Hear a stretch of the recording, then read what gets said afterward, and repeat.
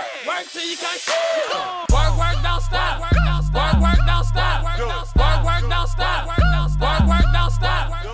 And welcome back to my channel, everybody. And if it is your first time here, go ahead and hit that subscribe button and ring that bell so you know when I post another video. Today we're going to be talking about 7 ways to tell if your crush is into you too. This video is of course inspired by today, which is Valentine's Day, and I want to help y'all because I know you out there wondering like, is this my boo or like, is this just my boo of my dreams? Because it's getting tragic and I still don't know. And Kia's here to help, baby. I'm here to help. So let's go ahead and get into it. Number one, they go out of their way for you. They make time for you, whether that means throughout their busy schedule, they make sure to send you a text here and there just to know that you're being thought about, or physically coming to see you and maybe bringing along your favorite candy if they haven't seen you in a while or something small, but they make time for you. With that being said, if they're not making time for you, they don't actually want you. Keep it moving. Number two, they ask you about your interests. It's like they're interviewing you, but it, it's natural. It's not a forced questionnaire. It's more just asking about your interest and trying to see what makes you tick and what they can do to make you smile and just things like that. They're just trying to get to know you better. Number three, they make excuses to touch you or physically get closer to you. Sometimes they might even turn their body or mirror you unintentionally. This is just showing that they're trying to get you to notice them more and they want you all up in their personal space.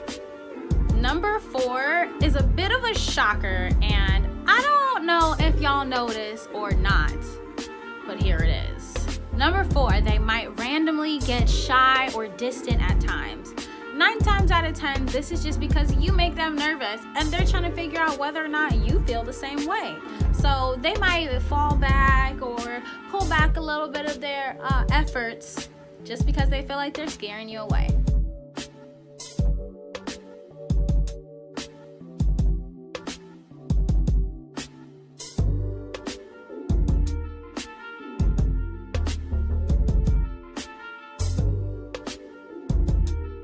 Number five, they send you memes. This is just a way of showing you throughout the day that they were thinking about you and they know that you'll find something funny and they saw it, thought about you, wanted to send it to you, wanted to get a nice little laugh. And sometimes they want to just start a little random conversation, which is fine.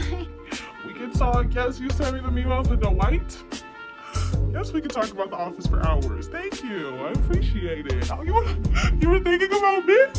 Me? That's so nice of you. Ain't nobody ever thought about me like that before.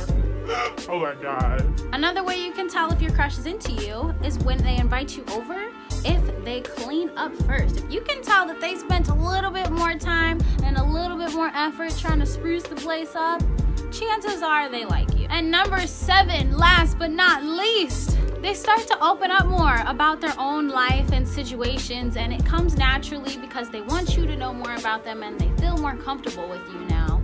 And it's not like you have to force them to say things. Like when somebody likes you, they automatically gravitate towards trying to get to know you and trying to let down their own they start to talk to you more and more about little things that matter to them. It's a test to see how much they can really trust you with. Are y'all excited for Valentine's Day? What y'all doing for Valentine's Day? Like, so I feel like if somebody's doing all these things and they're definitely into you and they're trying to show you rather than have to tell you that they're into you.